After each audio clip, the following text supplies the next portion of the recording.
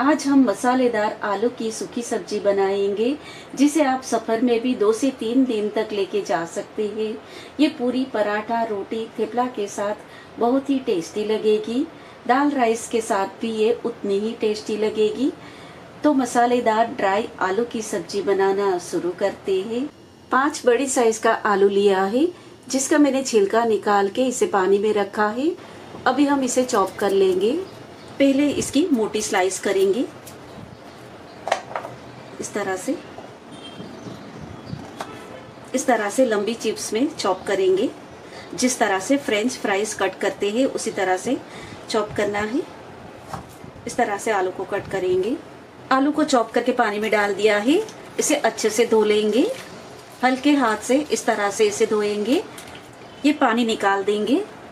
और एक बार इसे साफ़ पानी से धो लिया है ताकि आलू का स्टार्च पूरा निकल जाए।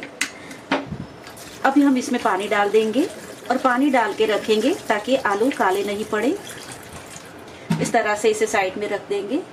सब्ज़ी के लिए ड्राई मसाला पहले बनाएँगे। तो मसाले में मैंने लिया है एक टीस्पून कलौंजी, दो टीस्पून सौंफ, दो टीस्पून धनिया के बीज, एक टीस्पून जीरा, आधी टीस्पून मेथी दाना, आधी टीस्पून अजवाइन एक चौथाई टीस्पून काली मिर्ची।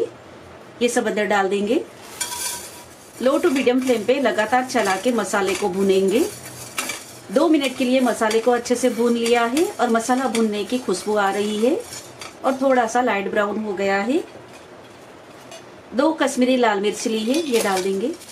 इसे भी साथ में भूनेंगे। मिर्ची को भी एक से डेढ़ मिनट के लिए धीमी आँच पे भून लिया है, गैस ऑफ़ कर देंगे। ये मसाला एक डिश में निकाल लेंगे। ये रूम टेम्परेचर पे आ जाए, तब तक इसे ठंडा कर लेंगे। मसाले को मिक्सर जार में डाल देंगे। एक टीस्पून नमक, आधी टीस्पून हल्दी पाउडर, एक टीस्पून आमचूर पाउडर, एक चौथाई टीस्पून काला नमक, आधी टीस्पून गरम मसाला पाउडर, एक टीस्पून कश्मीरी लाल मिर्ची पाउडर और आधी टीस्पून हींग ली है। ये सब मिक्सर जार में डाल देंगे। इसे ग्राइंड करके फाइन पाउडर बनाएँगे। आलू को पानी में से निकाल के स्ट्रेनर में डाल देंगे। एक साफ़ नेपकिन के ऊपर डाल के आलू का पानी सुखा लेंगे। इस तरह से पानी सुखा लेना है। चिप्स के ऊपर से पानी पूरा सुखा लिया है। इसे एक बेस पे निकाल लेंगे। फ्राई पैन में दो से तीन टेबल स्पून सरसों का तेल डालेंगे। आधे टीस्पून नमक डाल के तेल को फाड़ लेंगे जिसे सरसों के तेल का फ्लेवर निकल जाएगा। तेल अच्छे से गर्म हो गया है, गैस ऑफ़ कर देंगे और इसे थोड़ा सा ठंडा कर लेंगे। एक से दो मिनट के बाद इसमें ये आलू डाल देंगे। मीडियम टू हाई फ्लेम पे लगातार चला के आलू को कुक करेंगे। आलू लाइट गोल्डन ब्राउन हो जाए और क्रिस्पी हो जाए, तब तक हम इसे कुक करेंगे। इसके ऊपर ढक्कन नहीं लगाएँगे। खुला ही इसे कुक करना है। हल्के हाथ से इस तरह से चलाते जाना है। और ये गोल्डन ब्राउन हो जाए, तब तक हमें इसे सेलो फ्राई करना है। इसके ऊपर ढक्कन लगा के कुक करेंगे तो आलू मॉइस्चर छोड़ेगा और चिप्स क्रिस्पी नहीं रहेगी। और फिर सब्ज़ी को हम लंबे समय तक स्टोर नहीं कर सकेंगे।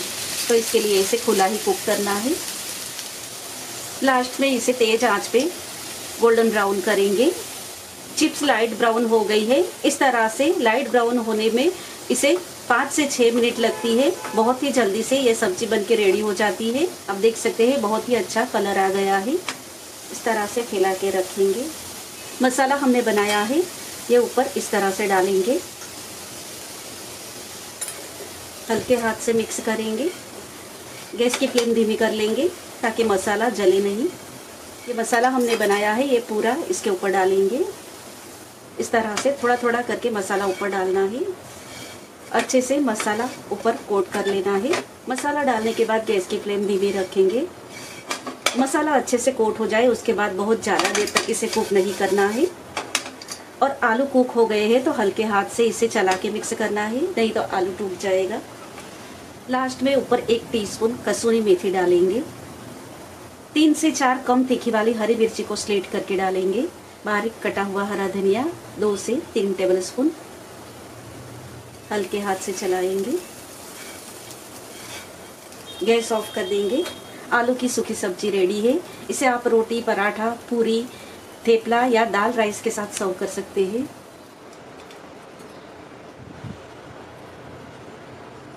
बहुत ही टेस्टी, चटपटी, मसालेदार ड्राई आलू की सब्ज़ी बन के रेडी हो गई है।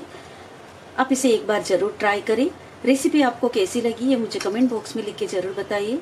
तो मिलते ही अगले और एक नए वीडियो के साथ।